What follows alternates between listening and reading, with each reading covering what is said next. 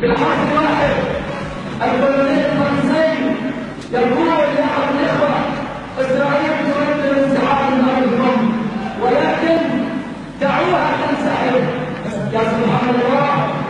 شو نحن بنقول لها ما تنسحب دعوها تنسحب قلنا لا ما معنى هذا الكلام قال تريد ان تخرج مرفوعه الراس لا نقول أن يجب دماء مش النهار دماء دماء محمود خليل وحسين سعد لن تخرج اسرائيل